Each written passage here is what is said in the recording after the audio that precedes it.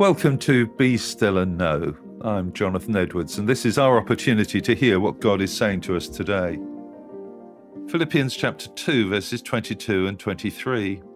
But you know how Timothy has proved himself. Like a son with his father, he has served with me in preaching the good news. I hope to send him to you just as soon as I find out what is going to happen to me here. Timothy was clearly very important to Paul. Born at Lystra in Galatia, now part of Turkey, Timothy had a Jewish mother and a Greek father. Paul met him on his second missionary journey, and he was a regular companion from then onwards. The letter to the Philippians was one of six letters in which Timothy was named as the co author with Paul, and the apostle also wrote two deeply personal and moving letters specifically to Timothy, whom he referred to as his dear son. In Philippians, Paul stated that he had no one else like him. Everyone else looked after their own interests, but not Timothy. He could be relied upon as a man of faith and someone who genuinely cared. As Paul languished in prison, it must have been wonderful for him to know that he had Timothy's continual support.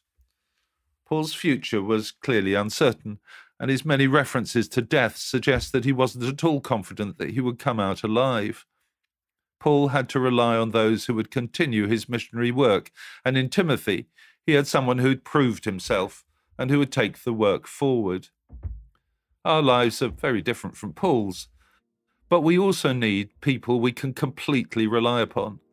Thank God for the blessing of good friends who share our convictions and our burdens and who are willing to walk with us whatever happens. There's a wonderful verse in Proverbs that says that a real friend sticks closer than a brother. What a gift. So let me ask you a question. Who are you able to rely upon? And how do you look after your relationship with them? And who relies on you?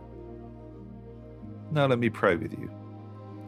Lord God, thank you for the gift of friends.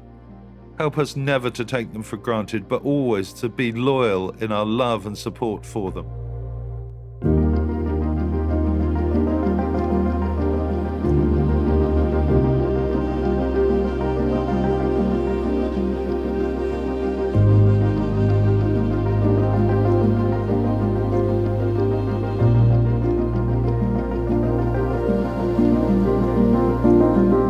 Amen.